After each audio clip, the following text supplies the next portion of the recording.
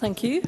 The next item of business is a debate on motion 13291 in the name of Richard Leonard on behalf of the Public Audit Committee on Adult Mental Health. I would ask those members who would wish to speak in the debate to please press the request to speak buttons. And I call on Richard Leonard on behalf of the Public Audit Committee to open the debate. Uh, around 10 minutes, please. Uh, thank you very much, Deputy Presiding Officer. I'm very pleased to be opening this afternoon's debate on the Public Audit Committee's inquiry into adult mental health. Can I thank the clerks and the staff for their immense effort on the production of the report. As we tackle stigma and discrimination, more people now feel able to talk about and to seek help for their mental health. That is to be welcomed. But the COVID-19 pandemic and the cost of living crisis have piled even more pressure on already strained services, not least because both have hit people with already existing mental health conditions the hardest. Combined, These are increasing not a demand, but as one witness told us, a need, a social need, which the government has a duty to meet. So let me thank the Minister at the outset for her considered and comprehensive response to the committee's report.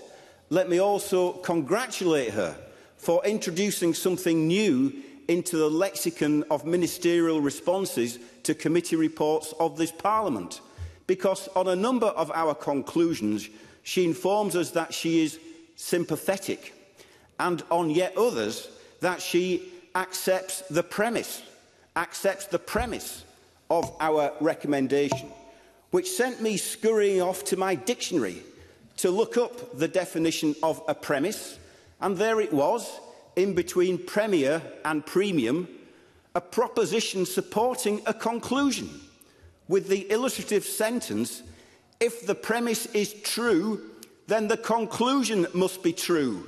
So I hope that the Minister and her officials are using the same dictionary as me.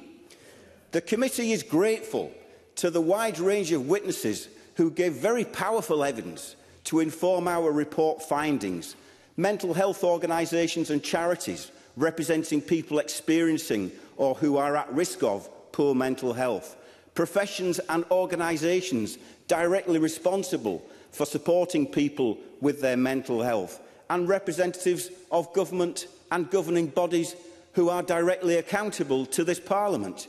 Each of these voices was invaluable in informing our report conclusions and our recommendations. We are the Public Audit Committee and our starting point is funding. There have been two significant in-year and emergency budget cuts to mental health spending in each of the last two financial years. Fact. Overall, there has been a real terms increase in funding for adult mental health services since 2017, a 16% rise in NHS board spending. Fact. And a 14% real terms increase in local authority spending on adult mental health. Fact.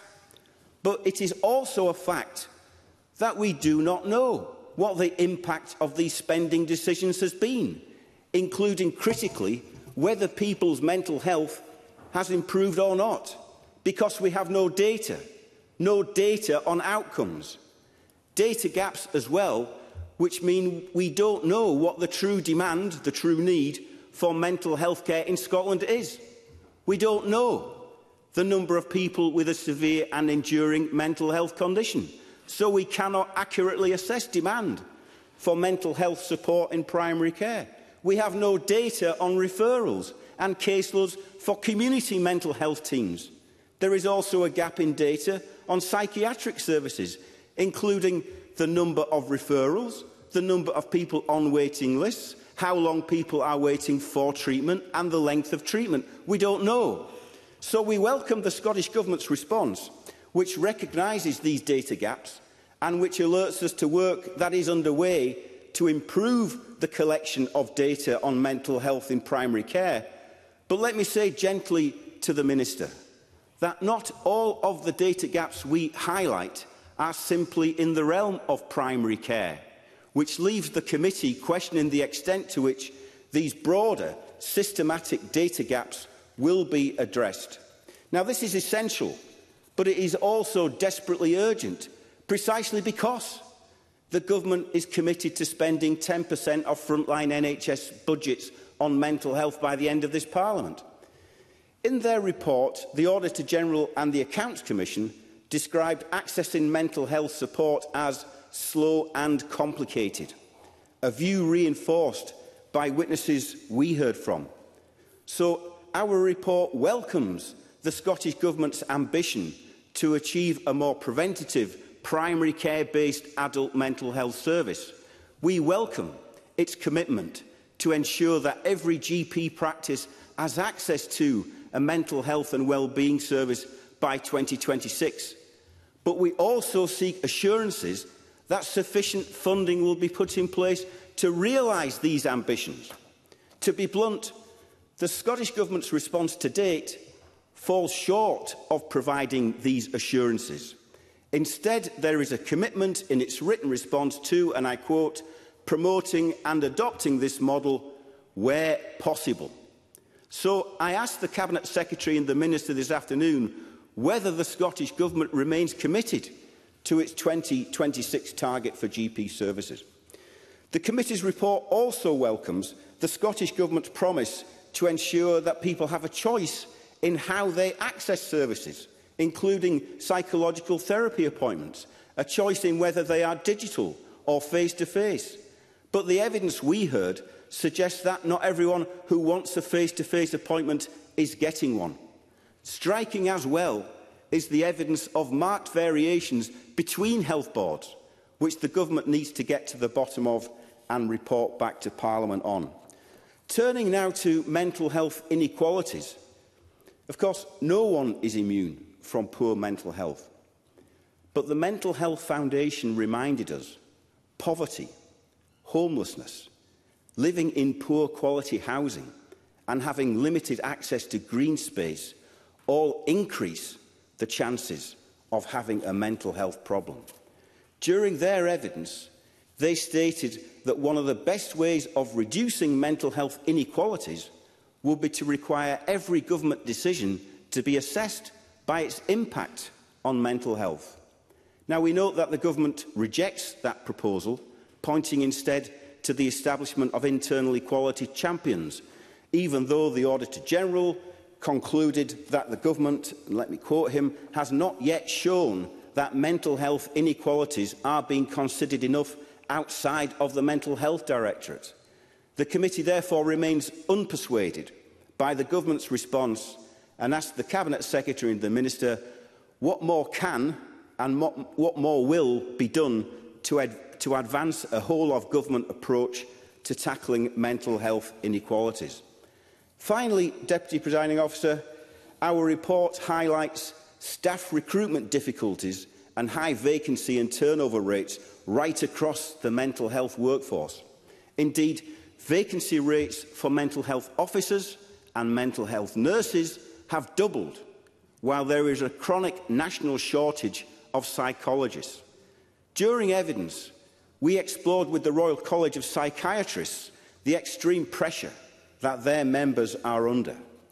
We heard compelling evidence of, in their words, a workforce crisis and an over-reliance on locum psychiatrists, which neither represents value for money nor provides a guarantee of service quality. So we call on the Minister to publish regular statistical bulletins on the state of the mental health workforce and to give much higher priority to workforce planning in adult mental health. Presiding officer, this is a serious and detailed report by a cross-party committee of this Parliament. Its findings are unanimous. Its conclusions and recommendations are direct It must be a call to action to this government and to this parliament because in, plain terms, in plain terms there is no alternative because the people we are sent here to represent simply cannot wait. On behalf of the Public Audit Committee, I move the motion in my name. Thank you, Mr Leonard. I now call on Cabinet Secretary uh, Neil Gray. Uh, around seven minutes, please, Cabinet Secretary. Uh, thank you, President Officer. I'm pleased to be opening today's debate for uh, the Government. I want to begin by acknowledging uh, the work by the Public uh, Audit Committee, uh, led by uh, Richard Leonard, its members and clerks, in preparing a comprehensive and balanced report on adult mental health, uh, serious and detailed, as Richard Leonard describes it, uh, that describes some of the systemic issues we know exist. This builds on the Audit Scotland report on the same topic uh, published in September. Uh, I believe that our mental health and wellbeing strategy, delivery plan and workforce action plan gives a clear idea of our policy direction. The strategy vision is of a uh, Scotland free from stigma and inequality, where everyone fulfils their right to achieve the best mental health and well-being possible. It contains our blueprint for a high-functioning mental health system and a set of outcomes that will enable us to uh, measure our progress. It describes the help and support that anyone should be entitled to expect when they ask for it. The delivery plan and workforce action plan set out the first set of actions we are taking to move us closer to our vision, covering an initial period of 18 months. We do not yet have a whole mental health system that is fully reflective of our vision.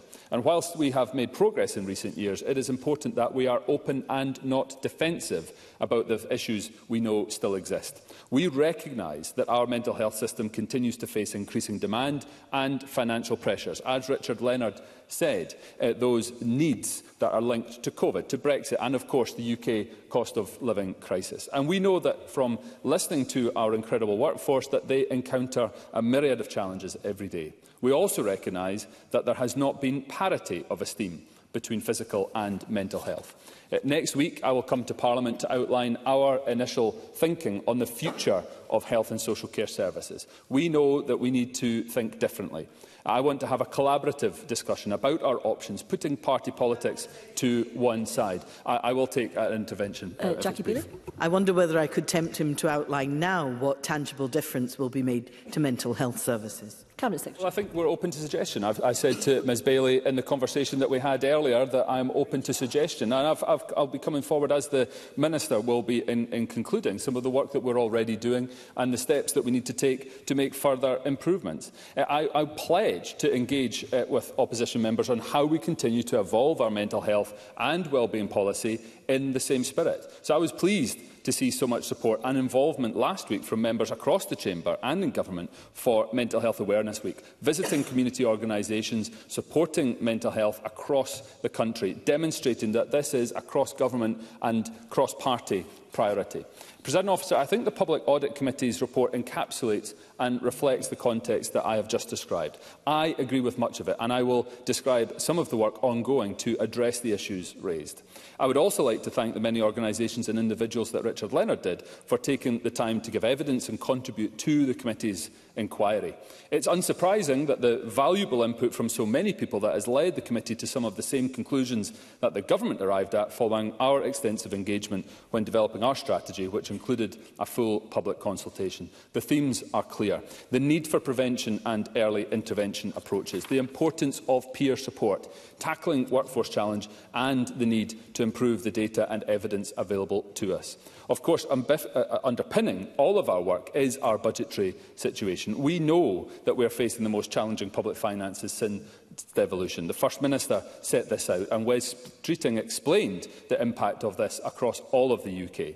But even in that context, we have seen historic increases in mental health spending, reflecting how much of a priority it is for this government. The core mental health budget has more than doubled since 2020-2021. Under the SNP, mental health spending by NHS Scotland has doubled in cash terms to £1.3 billion in 22-23 compared to £651 million Scotland in 0607. Uh, this government has worked and hard and across Parliament to raise the profile of mental health and well-being uh, to ensure that our increased funding is focused on improving outcomes. And as Cabinet Secretary, I commit to maintain that level of focus and prioritisation. There is no health without mental health. So I'll give uh, just two examples of our work to address specific issues raised in the committee's report. The contribution and sustainability of our incredible third sector is a fundamental part of our vision for a high-functioning mental health system, ensuring a good balance between specialist services and activities focused on upstream support and prevention. I witnessed the value of structured peer support and early intervention myself when I visited the Changing Rooms Extra Time po uh, programme at Pataudry last week. Uh, this is why we have invested a further £15 million for the community's Mental Health and Wellbeing Fund for adults in 24-25 to be distributed to grassroots projects by the third sect sector interface network. The announcement means we will have made available £66 million through our community's mental health and wellbeing funds for adults since 2021. And the fund supported an estimated 300,000 people across Scotland in its first year alone. But as the committee recognised, stability around funding is key. And we will continue to explore options regarding funding on a multi-year basis wherever possible. And to give just one example, in March we announced that the next round of the Perinatal and Infant Mental Health Fund it was open for applications through Inspiring Scotland, with funding continuing until the end of March 2026. The committee also highlighted, as Richard Leonard did in his contribution, the importance of data collection and outlined where there are current gaps. I also recognise the need for data quality improvement. Areas such as primary care and psychiatry, uh, psychiatry referrals uh, are being prioritised, and there is a range of activity uh, ongoing to improve our data, uh, led by Public Health Scotland. I also welcome the committee uh, endorsed Public Health Scotland's commitment to publish our mental health quality indicators in a dashboard format, and I can confirm that this is currently scheduled to go live in November uh, of this year. Those are just two areas where work is ongoing, and the Minister for uh, Mental Wellbeing has uh, written to the committee, responding to each of the committee's 29 recommendations in detail, as uh, Mr Leonard uh, referred to. So to conclude, presiding officer, I want to close by repeating that none of what I have outlined today is meant to deflect or distract from a full and frank acknowledgement that we have still got work to do. That is uh, fully in keeping with our mental health and wellbeing strategy. We have a blueprint for what good looks like, but we are not there yet. The committee's report summarises that context accurately, as did uh, Audit Scotland's previous report. Uh, there are many areas that where we are already working tirelessly to address those conclusions, and I will finish with a sincere offer, offer to colleagues across the Chamber. Our delivery plan represents only the first 18 months of worth of commitments. Those actions need to result in measurable progress towards the outcomes outlined in our strategy, which will in turn move us closer to achieving its vision. So if there are suggestions uh, for where government could go further or where there are gaps in our current delivery plan, then you will always find me and the Minister uh, willing to engage in constructive discussion. And in that vein, I want to once again thank the Public Audit uh, Committee and everyone who has contributed to its inquiry on adult mental health for their work. And as Cabinet Secretary, I'm determined to face those challenges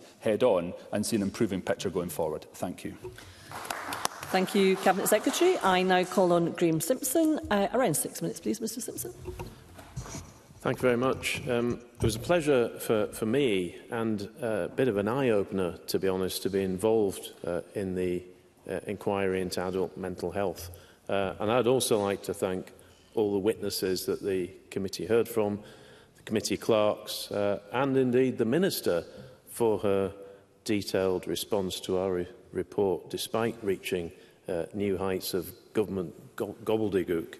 Um, it, was, it, was a, uh, it was a good response, and my fellow committee members. Um, now, the word crisis and emergency are used a lot, but there is a mental health crisis, and we heard it repeatedly from various witnesses. I want to focus on three areas today, the police, around-the-clock model of care, and the experience of people with mental health in getting help from their GPs. So if we can take those in reverse order, the difficulty of seeing a GP and what the barriers are to doing so if you have a mental health issue was a feature of our evidence sessions. And I asked several witnesses about this because my view is that the system operated by a lot of GPs where you have to explain yourself to a receptionist may put people off. And Joe Anderson of the Scottish Association of Mental Health told us Graham Simpson is absolutely right. You don't hear that too often, but that's what she said. Um, she said, I, I mentioned the number of times that people have to describe their situation, and the receptionist is the first place they have to do so. People quite often told us that it's difficult to even get to sit in front of a GP. Dr. Chris Williams uh, of the Royal College of General Practitioners Scotland said it drives frustration and negative experience. At the moment, general practice and our GP workforce face a difficult time. Of course they do. Our conclusion was the committee recognises the key role that GPs play in supporting people with their mental health. Uh, and we, the committee, said, we're concerned, however, that having to first explain their medical symptoms to a receptionist may deter some people from appro approaching their GP for help. We suggest the Scottish Government works with the NHS health boards to develop guidance for GP practices, setting out options that can be used to support people wishing to make a GP appointment for their mental health. Now, the Minister's response to this was, uh, in my view, disappointing to say the least. She basically disagreed with it. But I would say that everyone, not just those with mental health problems, um, we need to make seeing a GP easier and stigma free. In fact, the Royal College of GPs uh, have sent a briefing today um, which said that there should be a mix of appointment types and booking methods. And I would urge the government to, to look at that, not just for people with mental health problems, but ev everybody. So there's an idea for the Cabinet Secretary. The second area I want to mention is a model of mental health care that was mentioned in the Auditor General's report um, that exists in Trieste, in Italy. Uh, and sadly, and I don't blame the convener for this, we did not get to see this firsthand. Uh, there, they have set up what is essentially a new way of dealing with mental health. The system operates through a network of mental health centres that operate 24 hours a day. People don't need an appointment, they can just walk in. Um, and it's not only improved the way in which mental health is dealt with in that area, it's also cheaper than what was there before. But that's not the reason why they do it. They do it because it's better. Now, the committee did hear mixed views on, on the merits of that model, but, but we invited the Scottish Government to further consider the lessons that can be learned. But from the Minister's response, you would think we are already following that model, but we're not. She pointed to the Thrive model in Edinburgh and Hope Point Mental Health Hub in Dundee uh, as examples of local developments which have adopted many of the principles of the Trieste approach. But, you know, if, if everything was as rosy as she was trying to make out, we wouldn't have the issues connected with the third strand of my argument today, And that is the amount of time being taken up by our police officers in dealing with mental health issues. It's quite clear to me from speaking to officers in my patch and hearing from witnesses that our officers are spending far too much time, sometimes the majority of their time, dealing with people with mental health problems. Uh, and indeed, the Chief Constable, Joe Farrell, has spoken about this recently. Every year, Police respond to more than 100,000 mental health incidents, only 13% of which involve an actual crime. And on busy days, a call related to mental health comes in every two or three minutes. Now, in England, some forces are adopting a hard line and are only responding to mental health incidents when a crime has been committed or there's an immediate threat to life. Ms Farrell says she doesn't want to go that far, but she argues that Police Scotland must no longer be asked to carry out the routine work of other agencies, and I agree. She says she wants her officers to stop carrying out welfare checks on people with mental health problems. So my question to Ms, Mar Ms Farrell would be, if she doesn't want to follow the English model, then what exactly does she want to do? Because her officers are reaching burnout because of this. And incidentally, the Minister's response was to mention a multi-agency group, whatever that is, I would just close by saying to her and everyone in the sector that we need action, not talking shops, to those suffering and those who are tasked with helping them. Thank you, Mr Stevenson. I now call on Paul Sweeney. Around five minutes, please, Mr Sweeney. Thank you, Deputy Presiding Officer. may I put on record my thanks to the members and clerks of the Public Audit Committee for their work on this vital and timely report on adult mental health services. May I also commend the many witnesses who gave evidence to the committee on this subject matter and contributed valuable insight from all aspects of the mental health landscape. This report and the Audit Scotland Adult Mental Health Report before it have left no doubt Mental health services are in crisis. A sharp increase in demand for support, in part due to the impact of the pandemic and cost of living crisis, has added further pressure to an already strained service. However, worsening mental health in the Scottish population is not the fault of the people, and we cannot blame an increase in poor mental health alone for the pressure on services. Individuals often have little control over the circumstances which lead to them requiring support. Indeed, they have no control over national or global events like recession or pandemics, and we should welcome the fact that more people feel comfortable enough to speak up and seek help when they need it. Whilst we know that demand is rising, we can only know part of the picture. As the committee report says, we need better quality data to fully understand the scale of demand. At present, data is published on psychological therapies wait times, but this is largely the only measure of how adult mental health services are performing. There is no measure of quality of care, of outcomes, and as the Audit Scotland report found, this does not amount to sufficient government oversight over service performance. Deputy Presiding Officer, we cannot debate the issues around mental health care without considering the workforce crisis in the National Health Service.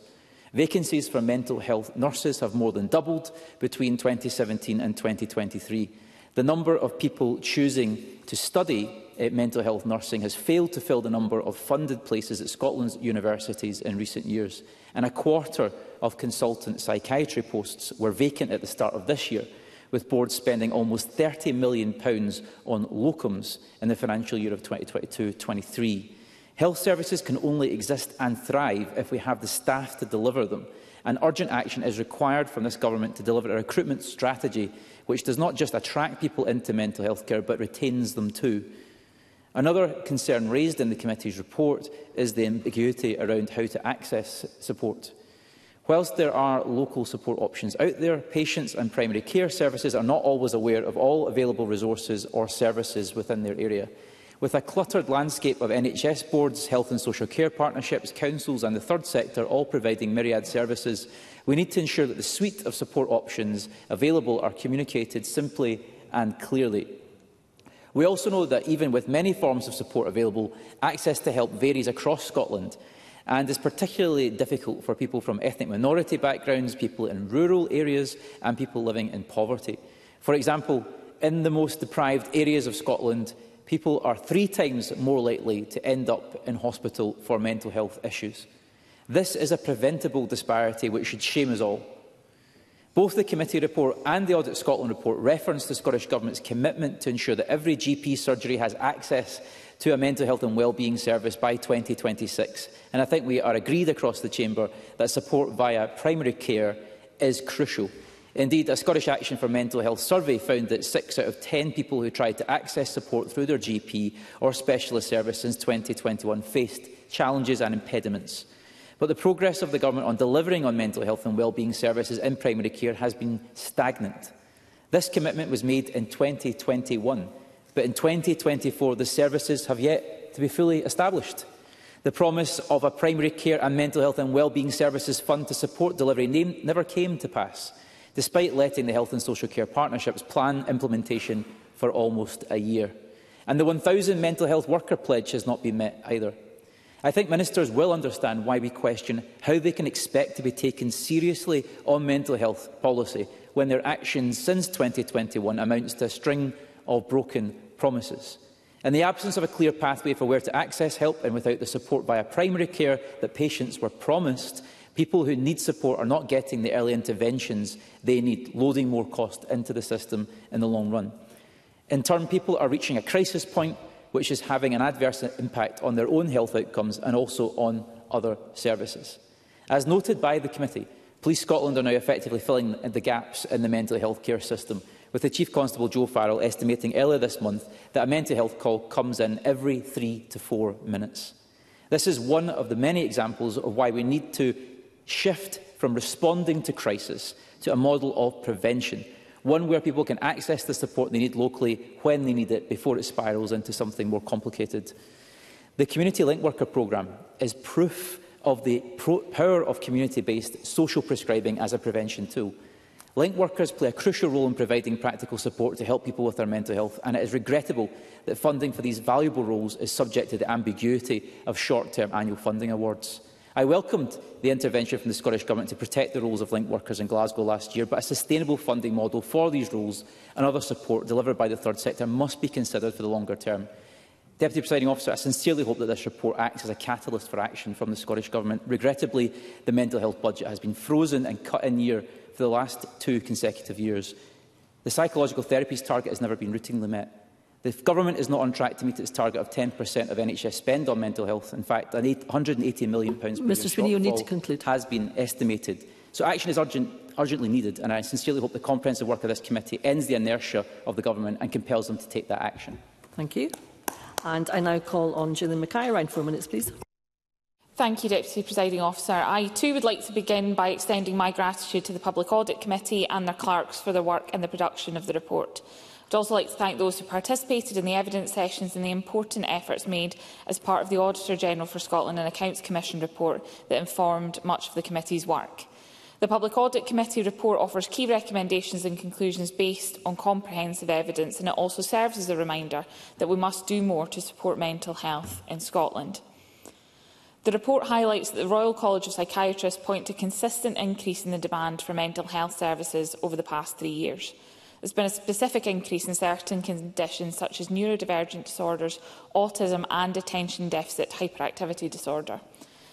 The evidence points to the fact that in some cases, referrals have increased between 700% and 1,000%.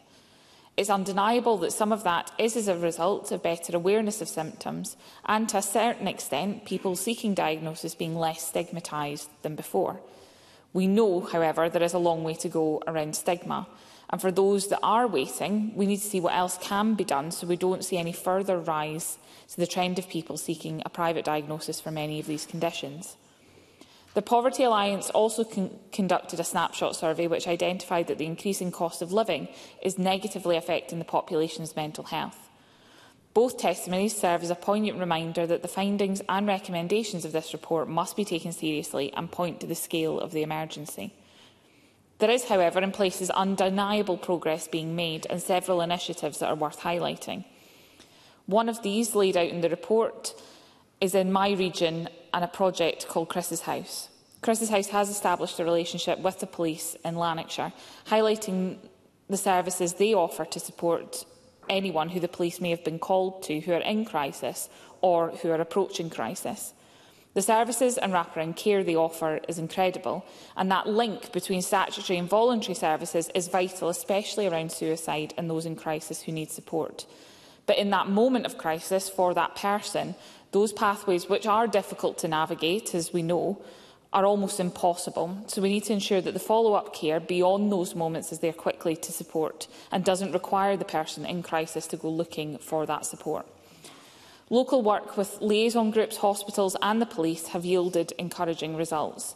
And NHS Lanarkshire, yes, absolutely. Cabinet Secretary. Uh, just reflecting on the, the point that uh, Gillian Mackay makes around Chris's house and the fantastic work that I'm aware that they do, the interaction that I've had in my constituency capacity, uh, I, I would just wish to reflect again on uh, some of the, the question that uh, was also posed to me by Jackie Bailey around the difference that we can make from a mental health perspective by having a proper collaboration between the community and voluntary sector, statutory services and also uh, private sector innovation uh, to answer the question that has been posed proposed by Gillian Mackay around how we can continue to sustain improvement through the community and voluntary sector. Gillian Mackay. Absolutely, and I thank the, thank the Cabinet Secretary for that intervention. I'll come on to more about um, third sector and the support that they need, probably looking at the time in my closing. Um, we know there are several inequalities that remain across Scotland, and I wanted to touch on uh, data in particular. There are specific and ongoing issues with the quality and depth of the data we record and therefore the data we can rely on to plan and target services. This isn't unique to mental health services, but given the acute pressure here, it is essential that we collect and process the data we need. There is a specific lack of data that's held by the Scottish Government, IJBs and others to fully understand demand for mental health care and that comprehensive good quality data is essential for assessing demand and planning services. The report further states that information about demand for mental health care in Scotland only covers those already accessing or attempting to access some mental health services. Therefore, improvements in the collection of quality data is needed, and I echo the report's concern that the lack of this data means there is no effective means of measuring outcomes or the impact that substantial investment in these services is having on the ground.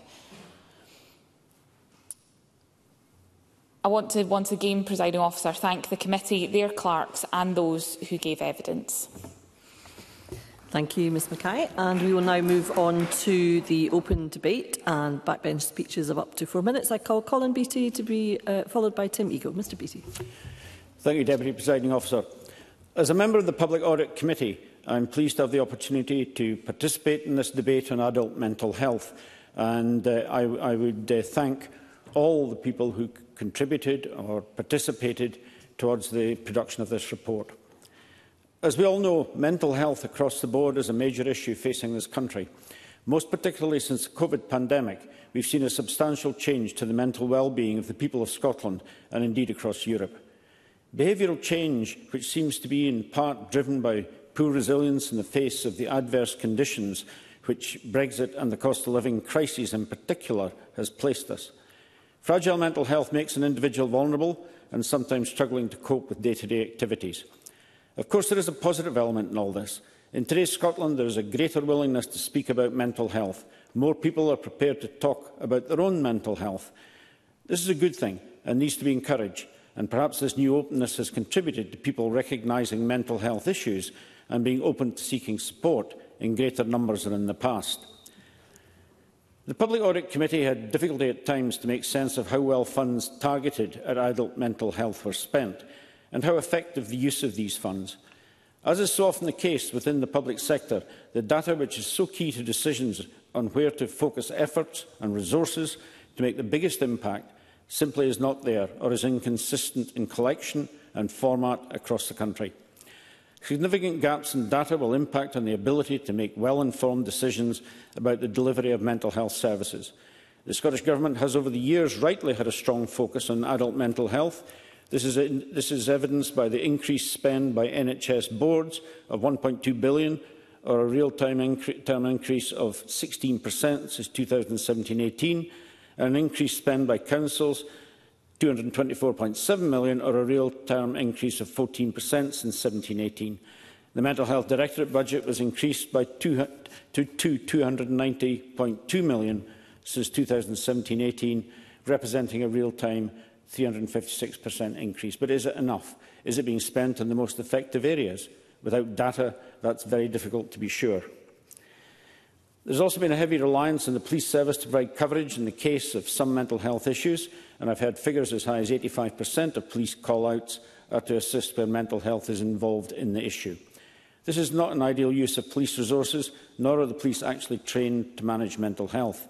An alternative model needs to be developed and implemented in answer to this dissipation of police time and effort. I'm pleased that uh, Police Scotland, uh, with their partners, are currently looking at possible solutions to better manage this, and I look forward to the outcome. I also welcome the Scottish Government's commitment to ensure that every GP practice has access to a mental health and wellbeing service by 2026. This will be a game changer in terms of support of adult mental, mental health. My only fear, of course, is the cost may well be substantial, and with Scotland's budget cuts putting pressure on public finances, ambition may exceed available cash. The situation overall is exacerbated by the shortage of trained staff to provide the support needed. The vacancies for general psychiatry consultants are the highest of all medical and dental consultant roles in Scotland. Indeed, there's been a reduction in the number of psychiatrists in the past five to ten years, while an increase might have been expected to meet demand. Vacancy rates are running at 30%. 20% of the consultant workforce is made up of locums, and this makes me meeting the needs of adult mental health sufferers both difficult and expensive. But hopefully the Scottish Government workforce planning will help to address this issue. There's no doubt that adult mental health is a growing problem, but I am heartened by the Scottish Government recognising it as such and seeking ways to address the issue. There's no easy solution in the short term, but with long-term workforce planning, resources can be deployed to improve the service availability, and I, I commend this report. Thank you, Mr Beattie. I call Tim Eagle to be followed by Willie Coffey. Mr Eagle. Uh, thank you, Presiding Officer. Can I also offer my thanks to Audit Scotland for the work that they've put into this report and to members of the Public Audits Committee for their scrutiny work. I also want to pay tribute to healthcare professionals who work in this field of medicine and often have tough and very stressful jobs. They do uh, so much work with scant resources, and that should be applauded. And I also echo the comments of Colin Beattie there about the openness for discussion that we have now in our society. That can only be a good thing. We are not there yet, I think, in how open we need to be around mental health, but I think it's positive that we are third sector governments and charities going in the right direction. But in the short time I have today, I want to focus my remarks on some of the issues that are affecting people living in rural communities uh, um, with accessing mental health support services. It is clear from the report and from comments from charities such as Scottish Action for Mental Health that whole system reform is needed in how mental health support is designed, delivered, resourced and accessed. That last part is particularly critical, especially in light of the fact that the number of people being seen by a mental health professional within 18 weeks fell between 2022 and 2023, including many of the health boards in the Highlands and Islands regions which I serve. The number of people seen within 18 weeks in NHS Grampian fell by 15.1% and in NHS Western Isles fell by 6.4% during that period. That's not good enough, and I can only imagine that the reality behind the statistics is huge and overwhelming pressures on staff. There are also issues in the way in which people access mental health support and services. The data highlighted in Audit Scotland's report show that there is a postcode lottery as to whether someone can be seen face-to-face -face or remotely. For example, 74% of mental health appointments in the West Isles in 2022 were made by telephone or video call, just 9% in person. In Orkney, the number of appointments made by telephone or video was even higher at 94%. However, in Shetland, 64% of appointments were made in person, and in the NHS Highland, 48%. While it is welcome that some people are receiving treatment by a healthcare professional, the report highlights comments which state that three quarters of people, 75%, felt that face-to-face -face support was by far the better option. Indeed, across Scotland in 2022, mice psychological therapies appointments took place digitally or by telephone, according to the report. That isn't to say that different modes of treatment delivery are right or wrong, but it is clear from the evidence that people feel a greater benefit from in-person treatment.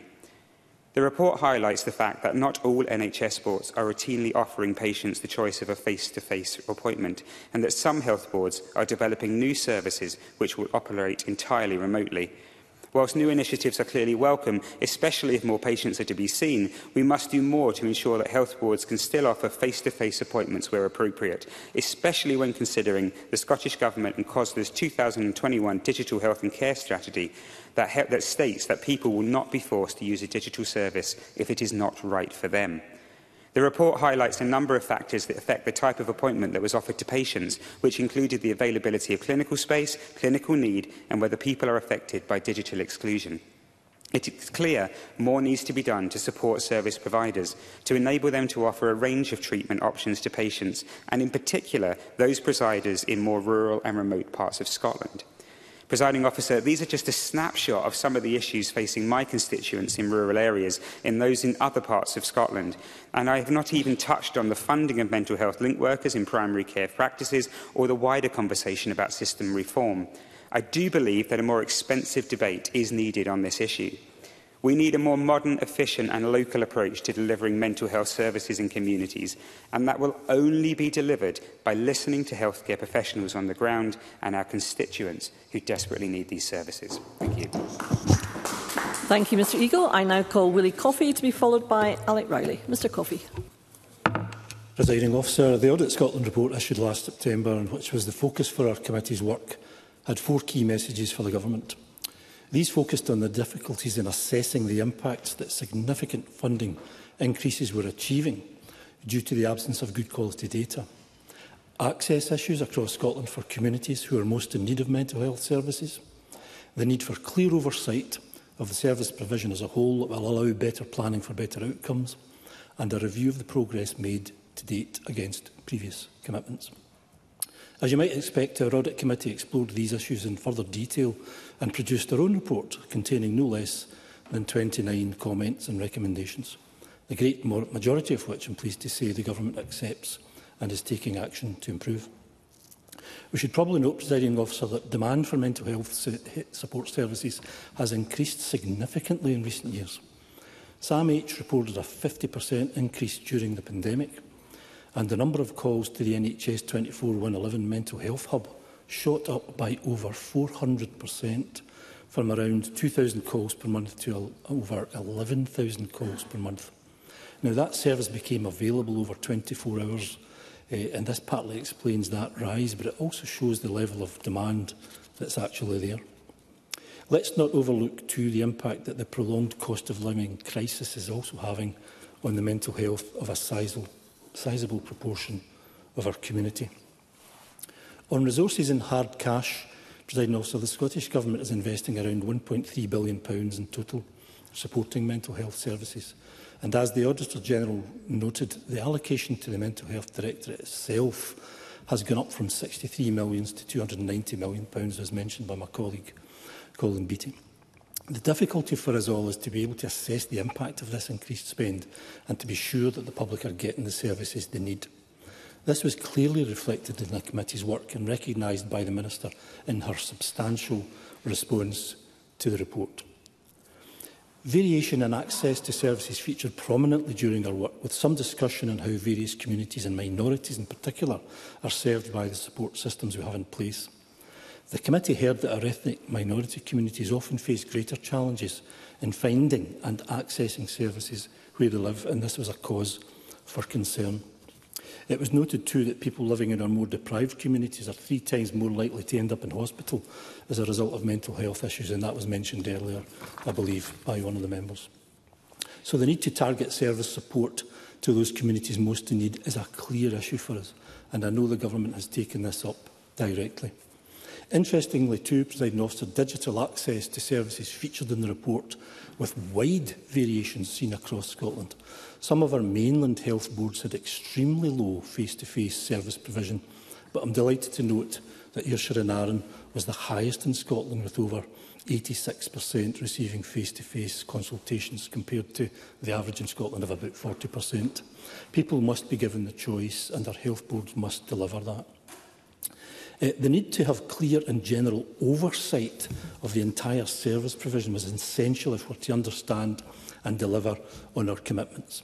The Auditor General and the committee recognised that if there is fragmentation in the system with multiple bodies providing support and funding, then the complexity of that impacts not only on accountability, but it makes it more difficult to be sure that services are being developed to fully meet the needs of the people. Finally, presiding officer, on reviewing progress with the 10-year strategy to 2027, it was a bit of a mixed picture. That's not to say that good work isn't being done. It most certainly is. And we have all seen and witnessed some fantastic work going on in our constituencies across Scotland.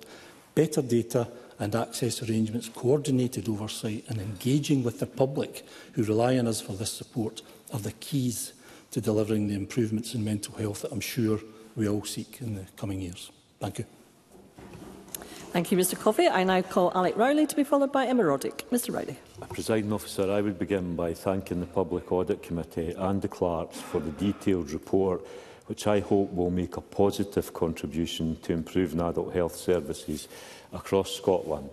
There is much in this report, but with only four minutes, I will focus on a few of the areas covered. The committee heard compelling evidence that the demand for mental health care continues to rise, adding to the pressure faced by an adult mental health system already under significant strain. Given that strain, I pay tribute to all who work in this sector, whether that is to be in acute or community-based services or those in community-based third sector organisations, all of whom do a great job, often under immense pressure. For many, when they feel ill, the first port of call will be to their GP, and the committee recognised the key role that the GPs play in supporting people with mental health. But as we know, and I would suggest most of the people in Scotland know, GP services are under constant pressure with increasing numbers finding it more difficult to access their GP.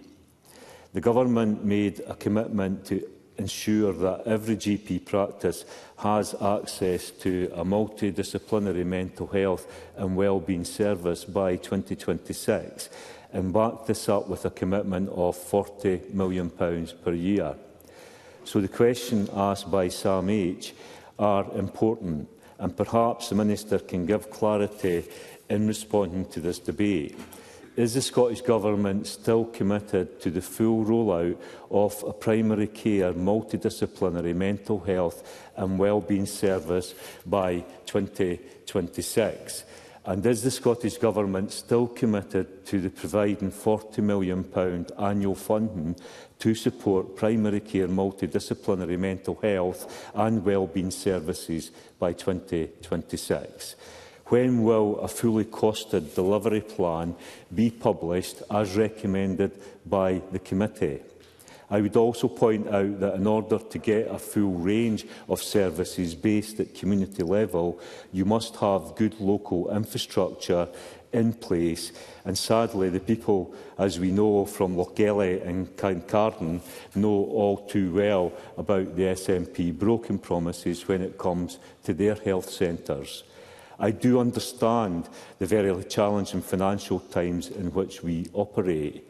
That is why I think the committee make a clear and important point when they state it is crucial that the Scottish Government publishes a costed delivery plan setting out the wider funding and workforce Uh, that will be needed to achieve its aim of establishing sustainable and effective mental health and well-being in primary care services across Scotland by 2026. I also note that the report states that the committee is clear that it is not the role of police officers to fill in the gap in the mental health care system. I listened carefully, presiding officer, to the interview the Chief Constable gave last week. She was clear that we need more specialist mental health services that police officers can call on that will provide the care and the support needed, allowing officers to focus on core policing.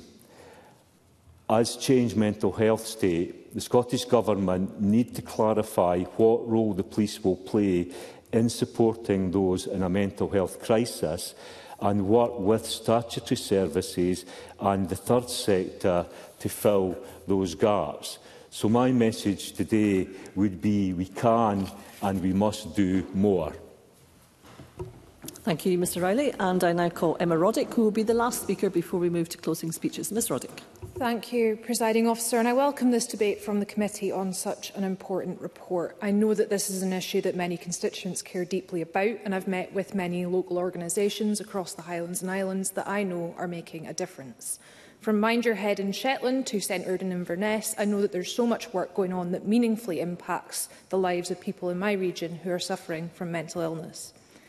One visit I'll never forget is that to the DBI offices in Inverness, where I heard of the flexible support that's being offered to people in immediate need. I heard from staff about how important it was for them to help, how they went above and beyond, and how, in the words of one, they don't understand what happened to people before their service went live.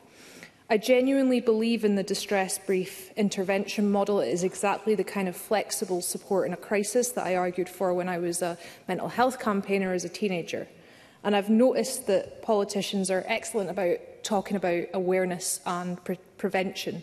We love a public awareness campaign and leaflets and to wear a badge on Mental Health Awareness Week, but you cannot prevent every mental health crisis. People will continue to suffer from trauma. People with lifelong mental health conditions will, I hope, continue to need support for a very long life ahead of them. And traumatic events will continue to happen no matter how many safeguards we put in place to guard against them. There are natural disasters, accidents, bereaved children, traumatic births, bad actors and events that have happened elsewhere in the world to people who then move to Scotland and need our help. We cannot stop all the wrong things in the world, so mental health crisis services are necessary. Audit Scotland highlighted that the target of 10% of frontline NHS spending being on mental health has not been achieved, and that needs urgent work. The report also talks about the need for 24-hour access when immediate care is necessary. Now, we know that all services, and this extends to the third sector, policing, council services, are stretched with mental health crisis presentations. So frontline support is needed from people qualified to deal with mental health crises. Now, the Audit Scotland report states that it's not the role of police officers to fill the gap in mental health care, and that is true. But we do have to recognise, as Change Mental Health has pointed out, that people are in emergency situations and they need support. So someone in immediate danger to themselves or others can't just be put on a waiting list. And that goes back to distress brief intervention. And I firmly believe in investing further in that because we know it is helping with that coordination between services. And police cannot deliver psychological support or help a person work through their trauma, but there's absolutely a role for them in identifying, protecting and correctly referring people in mental health crises. And we shouldn't shy away from that because as we discuss that great pressure that the force is under, we can recognise that there is a role that can be defined and agreed because the police will have interaction with mental health emergencies. Trauma-informed support across the board still needs attention and training resources because people are still reporting regularly that they're having to share traumatic experiences over and over with different authorities. Now, that's going to compound their trauma, encourage dissociation and distrust of the services that they'll still need moving forward, rather than support them to process what's happened to them. Now, I've been through a mental health crisis. I know how critical that initial support is, and I know how life-changing a poor reaction or thoughtless comment could be, and how transformative the right non-judgmental support is. So it's important that we keep improving crisis services, making sure that no matter who some, somebody runs into first when they're in crisis, be it the police, A&E, social work, the Scottish Ambulance Service, they are supported to access the right service and help to recover, whatever that looks like for them. Thank you. Thank you, Ms Roddick. Uh, we will now move to closing speeches. I note with some disappointment that a member who has participated in the debate is not here for the start of closing speeches, which is a discourtesy to other members who spoke in the debate and to the Chair. And with that, I call Gillian Mackay. Up to four minutes, please. Thank you, Deputy Presiding Officer. In closing, I'd like to emphasise the critical points raised by the committee's report along with the various stakeholders that informed it. Richard Leonard mentioned in his speech a preventative approach to mental health, and I wholeheartedly agree with that. We need to keep people well to ensure we both prevent people from ending up in secondary services, but also to give them a better quality of life. And this preventative approach has so many branches to it, and many of those levers, including access to good quality housing, fair work, fair pay, and all those things that we know make lives better – are actually outside of the portfolios that we're talking about this afternoon. I hope the Cabinet Secretary, the Ministers and others in Government will ensure that decisions made by Government will seek to enhance and improve mental health. And I absolutely recognise Emma Roddick's comments that not every mental health condition or crisis can be prevented, but I absolutely agree we should be doing everything we can to ensure that support is there when people need it. While several incentives have been brought forward to enhance access to mental health services across Scotland, the report highlights the importance of addressing broader inequalities and highlights the fact that many current incentives lack detail. The review of policing mental health in Scotland shows that police are shouldering the responsibilities that should be shared by a more integrated system. A whole system response is necessary for effective mental health services and the committee's report also makes it clear that tackling mental health inequalities extends beyond the healthcare system. The Chief Executive of NHS Scotland shared how health boards can support local communities through employment procurement, leveraging the broader policies focused on tackling inequalities and poverty. I also wanted to briefly touch on the recommendations around GPs and those contacting their GPs. I agree that for many, repeating their story or symptoms around their mental health may deter people from seeking help. I agree that guidance should be produced, but I think it should go further than just GP practices, so that we're not re-traumatising people purely for them to be able to get an appointment or help. And the Royal College of GPs has asked that this, is, that this guidance and any other innovations have time to be implemented. And I echo their call for protected learning time for GPs and their teams. The third sector is delivering a huge number of services and support currently, but as the committee highlights, funding, funding and certainty of that funding is a barrier to how that's delivered. I was very pleased to visit a project in Calderwood Country Park last week with Voluntary Action in South Lanarkshire, RSPB and other partners on nature prescriptions. The project is fantastic and I really hope other members in Central Scotland and maybe even the Minister and Cabinet Secretary might consider going to see the project. They highlighted to me how difficult the current funding regime for third sector organisation is, the need for them to reinvent the wheel, to access funds, not knowing when those funding decisions will be made, and for those we spoke to in Sky as part of the Remote and Rural Healthcare Inquiry in the Health Committee, some of them couldn't even get people to reply to emails about when funding could be expected. The mix of support that the third sector provides is phenomenal and we need to recognise that in the way they're treated and the way they're supported. I also believe that for meaningful reform, the Scottish Government must prioritise mental health funding by meeting its target to increase spending and ensuring at least 10 of frontline NHS spending is dedicated to mental health. I remain encouraged by several commitments made by the Scottish Government in their response to address several of the shortcomings addressed in the report. However, I hope this translates into concrete action to reinvigorate the mental health system, which we encourage our constituents to rely on. Thank you, Ms Mackay. I now call on Jackie Bailey. Up to five minutes, please, Ms Bailey. Thank you, Presiding Officer, and I wish to echo colleagues in expressing my thanks to the convener, Richard Leonard, and to all members of the Public Audit Committee, together with the clerks, for producing this report. I also offer my thanks to those who gave evidence to the committee and offered their very important insights of the realities on the ground.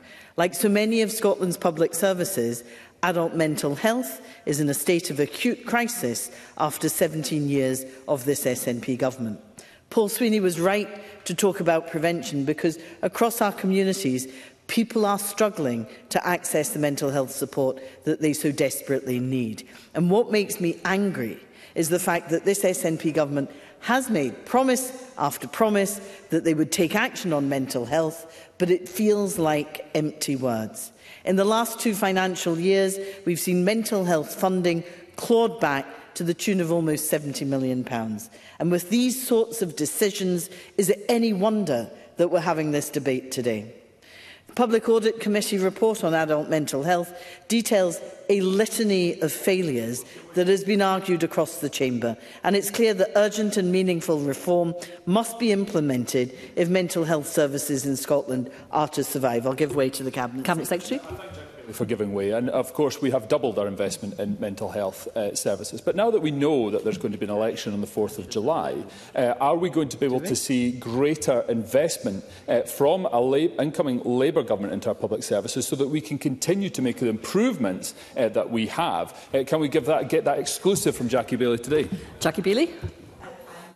Do you even have to ask that question? Labour created the NHS, Labour will defend it and Labour will invest in it. But let me tell you that when the SNP government had record levels of funding from a previous Labour UK government, they squandered it, they spent it on other things. Scotland used to spend 22% more money per head on health than England did. Today, that gap has fallen to 3%. That's been on your watch. You haven't invested in the NHS, and the public will find you out for that.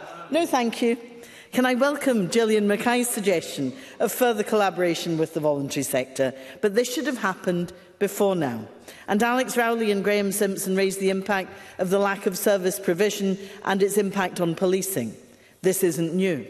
The report's findings echo an Audit Scotland report on adult mental health from September 2023, which highlighted the same themes, the same issues. That report was eight months ago, but Scotland's mental health services remain in a state of crisis and little action appears to have been taken to address it. So I sincerely hope that the Scottish Government take heed of this report's recommendations with a degree more urgency than they've done to date. To begin with, the need for better data collection is vital. That was covered by Audit Scotland and the Audit Committee. Failure to collate proper data is a theme that runs throughout Scotland's struggling health and social care system and is too characteristic of a government that seeks to obscure the truth and hide the facts. Without proper data collection, the government can't hope to address the issues highlighted by both Audit Scotland and the Public Audit Committee around investment in services. The government pledged to increase mental health spend over the course of the Parliament by 25%, with at least 10% of frontline NHS spend going to mental health. Yep. So how are we doing on that? The latest data from Public Health Scotland shows that in 22-23, only 8.53% of NHS expenditure went to mental health, a decrease again on the previous year and lower than the equivalent spend in England, where it is 14%, and Wales, where it is 11%. We've had enough of the spin and the warm words. The government must tell Parliament when it will meet its own target that at least 10% of frontline NHS spend will go to mental health. This is important because properly funding primary care and GP services is essential to address the mental health crisis and within that is the retention and expansion of clinical link workers. The government should give a cast iron commitment to long-term funding for clinical link workers if it's serious about tackling the concerns in the report. I'm conscious of time, presiding officer, but let me just say, let, Richard Leonard was right to emphasise the inequality of provision, because for people living in poverty, people living in rural areas and for ethnic minorities, access to mental health support remains slow, it remains overcomplicated. The scale of the crisis cannot be understated. The workforce is at breaking point as it struggles to meet demand, and that's after years of poor workforce planning. Accepting the Public Audit Committee's report, implementing the recommendations as a matter of urgency is the right place to start. But this report demonstrates that people in Scotland have been failed by both the UK and Scottish governments. It's time for change, and that opportunity, presiding officer, is with us now. Thank goodness for that. Thank you, Ms Bailey. I now call on Tess White. Up to six minutes, please. Presiding officer, the statistics are sobering and the Public Audit Committee's report is damning. One in four people experience mental health problems in any given year. Life expectancy for people with prolonged mental illness is significantly shorter. The suicide rate in Scotland is consistently higher than in Northern Ireland, Wales and England. The number of female deaths by suicide is rising. The cost of poor mental health to the Scottish economy is close to £9 billion. pounds. Presiding officer, Scotland is experiencing a mental health crisis and the healthcare system under this SNP government just isn't equipped to cope. Demand is rising but capacity isn't. Too many people are languishing on waiting lists for treatment. Millions of pounds are being spent on locum psychiatrists because health boards cannot recruit permanent positions. It's therefore welcome and necessary that mental health services across Scotland are being scrutinised by Audit Scotland and the Public Audit Committee. This work shines a much needed light on the pressures in the mental health care system and the lack of progress by successive SNP governments. It's clear the SNP do not have a grip From the lack of data to support the delivery of services to the barriers people continue to experience as they try to access care, patchy provision, too few face-to-face -face appointments and unachievable policy commitments have defined the SNP's record on mental health to date. Meanwhile, real-term spending on mental health by the Scottish Government has reduced. Third sector organisations like the Scottish Men's Sheds Association have been forced to wait anxiously for news for the funding from this SNP government. The first men's shed started off in West Hill, Aberdeenshire, in my region in 2013. They've done vital work to improve, improve men's mental health and well-being, but there's no plan in place for long-term sustainable funding from the Scottish Government. I hosted a roundtable event on perinatal mental health in October last year, and the message was the same. The third sector is stepping into the breach, but there's no certainty over funding. Organisations are worried about recruiting staff to meet demand when they might not be able to pay those staff in the next financial year. And I spoke to one GP surgery in my re region last week who told me they had nowhere to signpost anyone to in, in the community for mental health support because the service had closed. It's dire. There must be a better way for the SNP government to support these organisations. Presiding officer, Audit Scotland, Audit Scotland's report highlighted specific concerns over access to mental health care in rural areas, and I strongly echo those concerns. The report quoted a rural resident who said, if you live in a rural community or outside of a catchment area, you have no services available. You try to access the services where they are available, but you're up against a brick wall. The reality on the ground is that there is a postcode lottery on mental health care. There's no mother and baby unit outside the central belt meaning new mums in serious mental health distress in my region must leave their families and travel miles for specialist treatment. And according to the Maternal Mental Health Alliance, only two out of the 14 boards currently meet UK-wide quality standards for specialist perinatal mental health care.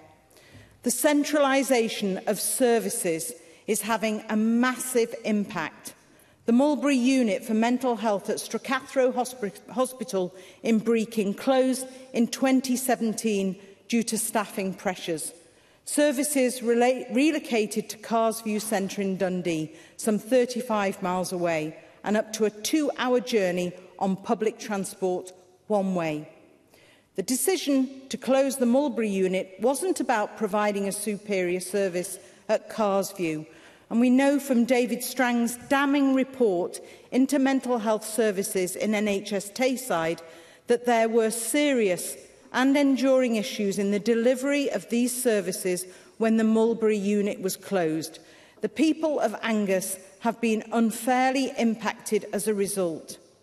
And I'd, I would like to ask the Minister today and the Cabinet Secretary.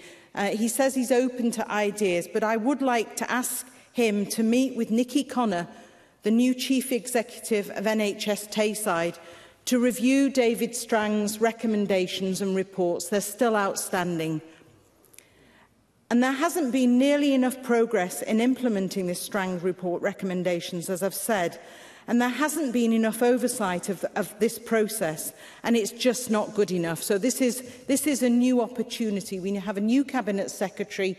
Please, can he listen to this? Presiding officer, politicians and policymakers have long called for parity between mental and physical health.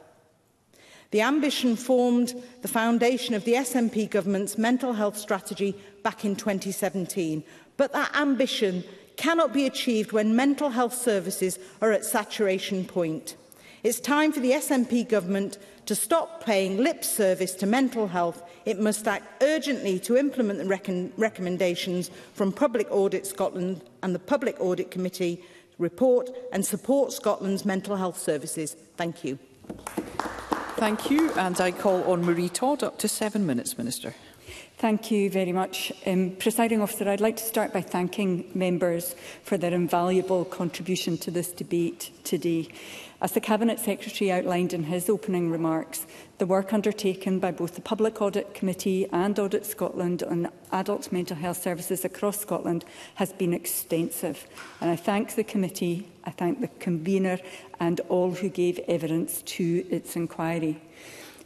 Whenever mental health is a topic for discussion, I truly believe we can all come to this Parliament in a collaborative spirit.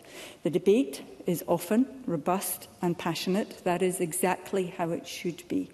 But we all make our contributions on the basis of a sincere shared belief that the system should and can be improved. There should be varied support for people who need help with their mental health at all levels of need. Reducing stigma should continue to be foundational so that people can ask for help without fear of judgment.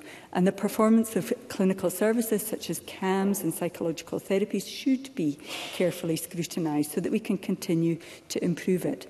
And we should also focus on continuing to expand community-based provision, peer support and mental health resources in primary care. Overall, we should continue to tilt the balance to early intervention and prevention whilst valuing our specialist services. These are all points which come through very clearly in the committee's report and they are also the themes, key themes in our mental health and wellbeing strategy. Presiding officer, we are wholly focused on making progress towards the strategy's outcomes and, in turn, its vision. Delivery of that vision is dependent on cross-government and cross-society collaboration, and we're working to deliver that. What the strategy outlines is a blueprint of what good looks like. That covers improving access to and the quality of mental health services, expanding the range of support available to meet emerging, emerging needs effectively aligning our workforce and improving the amount and quality of data available. And this echoes the themes which came through in both the committee and Audit Scotland uh, reports.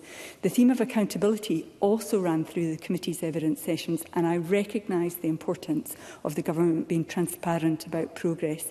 We've committed to establish a mental health and wellbeing leadership board jointly chaired with COSLA to oversee our joint strategy and delivery plan. And that board will contain representation from across the whole system, including across government, and it will meet for the first time in early summer. Now, the committee's report has asked us to be upfront about progress, and we will be. The Leadership Board will play a crucial role in delivering this. A number of people raised the issue of workforce. Now, with substantial investment, um, we have record numbers of staff providing more varied support and services to a larger number of people than ever before. On the issue around transparency, NEST published detailed statistics on the makeup of the mental health workforce delivery um, for uh, psychology and CAMS quarterly. There is currently a review of mental health nursing, which will be completed by the end of the year, and I'm very happy to update um, Parliament on that. And in psychiatry, in that medical specialty, we recognise that there are global shortages, and there is work ongoing to ensure that we attract the brightest and best to the profession. And whilst I'm very pleased that there was a 100% fill rate in trainees last year, I am absolutely clear that all is not equal in every specialty within psychiatry, and work is ongoing to ensure that we have the right workforce for the future. Now, a number of people raised the issue of the police, and I have to say I do recognise the impact of mental health related incidents on policing, and I'm very grateful to officers for their work every day to support those who are in distress or experiencing mental health, ill health. Of course, in a rural area like the one I represent, mental health will always be part of the frontline response. Um, the police will always be part of the frontline response to um, people who are in distress. In terms of the partnership group, group that we have set up, that is multidisciplinary, that has representatives from the Scottish Government, Scottish Police Authority and Police Scotland, who are going to drive activity to ensure ensure that resources are deployed appropriately and to reduce unnecessary demand on officers. In terms of tangible progress already made and being built on, they will implement the enhanced mental health pathway, which allows Police Scotland to pass on calls from people who need mental health or distress support to the NHS 24 mental health hub, and that's available 24 hours a day, seven days a week. It will enable call handling staff. Yes, certainly. Graeme Simpson thank the Minister for taking the intervention. I'm interested to hear more about this because I think we need tangible action so that police officers aren't spending so much time um, tied up with dealing with people with mental health issues. When can we expect to see that action? Minister. So as I said, that some of that action is in train already. So uh, already there is there is work underway to ensure that people that that police officers can um, ensure that the people asking them for support and help can be referred on to NHS 24. There's an ability for call handling staff at Police Scotland to make referrals to DBI, so distressed brief interventions, as we've heard. Um, uh, that is an in incredible resource that has not been available before, um, and that is an alternative to sending police officers out in response to call over 62,000 people in Scotland have been able to access distress brief um, interventions that it has started and referrals from Police Scotland are steadily rising. Another thing that we have available and we need to increase um, awareness of this particular issue is um, having local he mental health clinicians available 24-7 that improves um, Police Scotland have access to that support 24 hours a day, seven days a week in order that the people who are contacting them can be enabled to access local clinical support.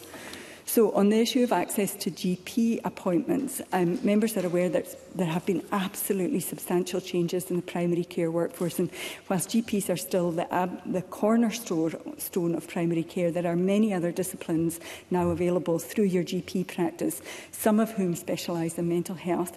And the reason that receptionists are asking questions about what the nature of the call and the appointment is, is to, so that they can ensure that people are able to access the right um, professional in the team.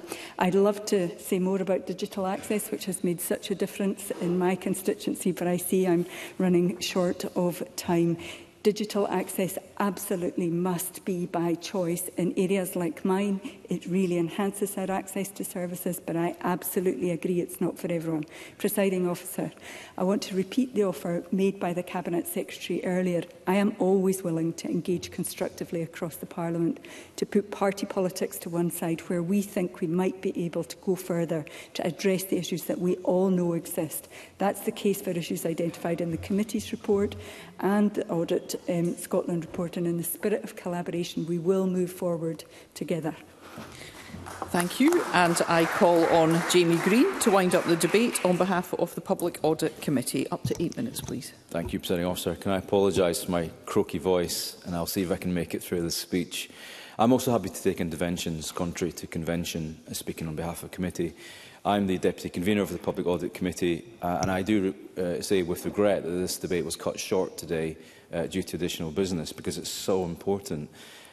Off the back of Mental Health Awareness Week, it's been a really timely debate. Uh, the Public Audit Committee, in my view, is an often undervalued committee in this Parliament. This report was frank, it was stark, it was well constructed, it was cross-party and it was unanimous, and that is really important. It is so important that we all talk about mental health and that we lead by example to break down stigma and taboos around mental health. I hope I play my part in that, as members may have heard on BBC Scotland last week. I think this whole debate has rather starkly highlighted the many challenges that adult mental health services face in Scotland. I would summarise the current situation and indeed this report simply as a growing crisis. It is the way in which the government, however, chooses to respond to this crisis which will impact the lives of many for decades to come. There is absolute consensus in the Chamber about uh, where the Scottish Government needs to prioritise its actions. There is consensus about the rise in demand, and there is consensus about the many gaps in current delivery, because the causes of mental health are uh, uh, uh, poor mental health are varied, they are complex, and they are interconnected.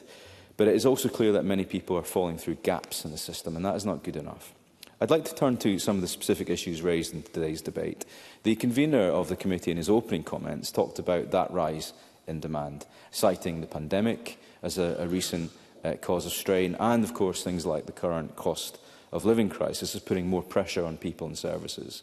But a rise in demand on one hand leads to uh, uh, proof and evidence that fewer people are suffering in silence and alone because society is breaking down those taboos and stigma over mental health. It should have parity with physical health.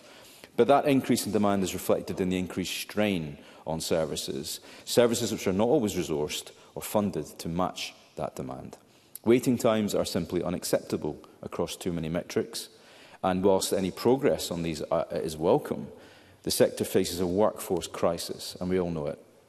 If, if the people are, are not there, then nor is the support. And the committee's report raises serious concerns that demand has not been met for far too many of our fellow Scots. When it comes to out-of-hour support, as Graham Simpson mentioned, uh, if someone is facing a mental health crisis or is in distress, it is too often left to Police Scotland to deal with those incidents. Now, my experience on the Criminal Justice Committee vindicates that view.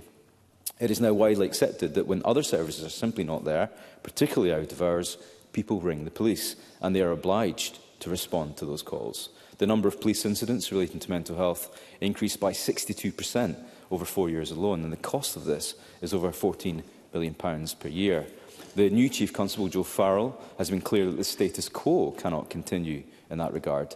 But we see no firm pathway uh, to reducing this bur burden, as Alec Rowley mentioned in his comments.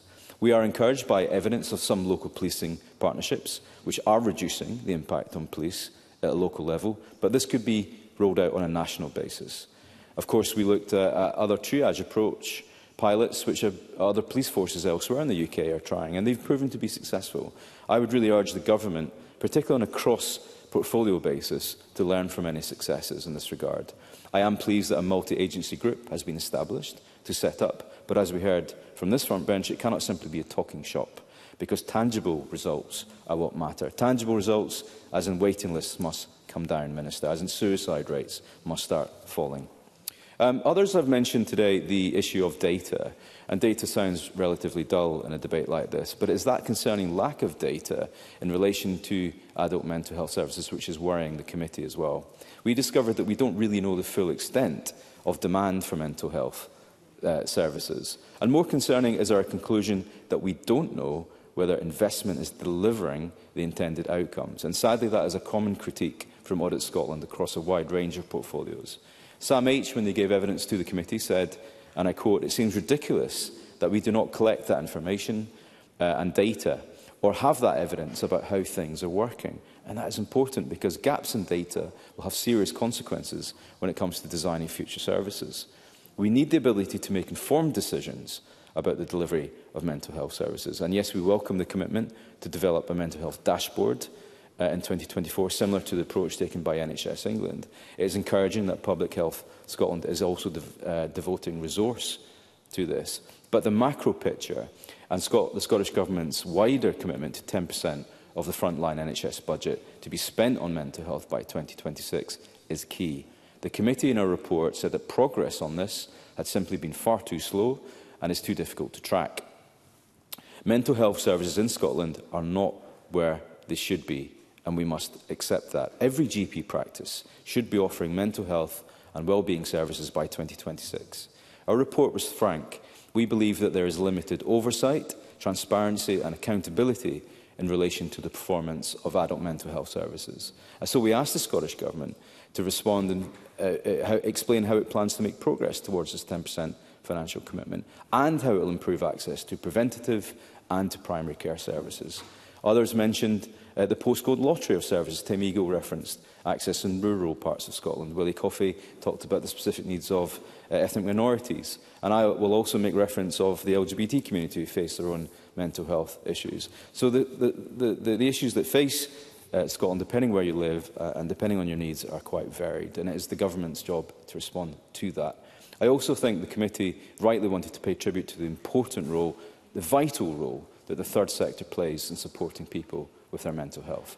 Organisations like SAMH, Change, Vox, the Mental Health Foundation, and many others, including one called Your Voice in Greenock in my area. But these services should be complementary to and not replacements for statutory health services. Uh, the nature of third sector funding is fragile and is often unpredictable. Now, we recognise the Scottish Government itself does not work in multi-year funding settlements, but the committee highlights the need for certainty for such third sector services, as was highlighted by Tess White, raising the plight of Men's Shed. The funding reassurance is needed by government to ensure that their, that vital work of the third sector can go on. I'd like to end, thankfully my voice has made it, by thanking the Auditor General for his work, for the Public Audit Committee and to all the members who participated in today's debate for their stark comments and their contributions. It is absolutely clear that there's so much more work to be done and of course any progress will be welcome but there remain far too many people in need of help and support, and none of us should be comfortable with that. This report should be a wake-up call. I hope it is.